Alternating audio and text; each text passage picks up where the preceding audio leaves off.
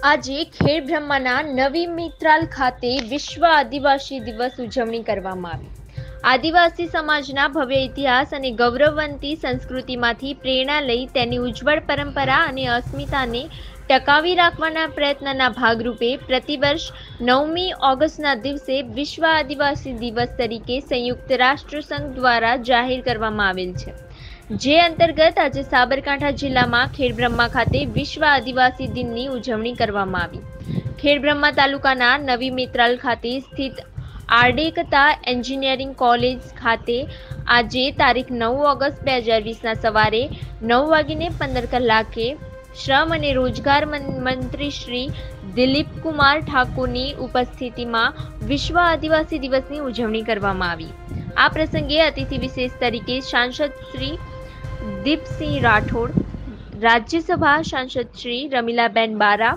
ખેબ્રહ્માના ધારાસભ્ય શ્રી અશ્વિનભાઈ કોટવાલ, જિલ્લા collector Shri C જે પટેલ, જિલ્લા વિકાસ અધિકારી શ્રી ડોક્ટર રાજેન્દ્ર પટેલ તેમજ અને આદિવાસી ભાઈઓ અને બહેનો ઉપસ્થિત રહ્યા હતા રિપોર્ટર કુંજન દીક્ષિત, સાબરકાંઠા આજે નવમી ઓગસ્ટ,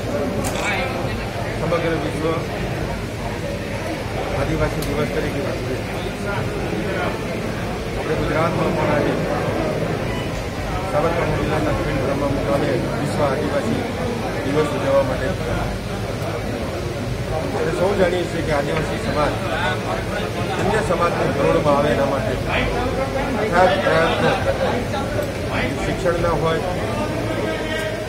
આરોગ્યના હોય તમામ પ્રયાસો રાજ્ય સરકાર મારફત કરવામાં આવે. અને આજે આપણે હમણાં જ જોયું ઉમરગામથી અંબાજી સુધીના પટ્ટા માટે, વિવિધ કામો માટે દોઢસો કરોડથી પણ વધારે રકમના ખાતમુહૂર્ત અને લોકાર્પણ રાજ્ય સરકાર મારફત આદિવાસી વિસ્તાર માટે કરવામાં આવે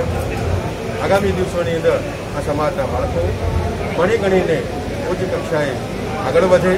એવા જ પ્રયાસો રાજ્ય સરકાર મારફત કરવામાં આવે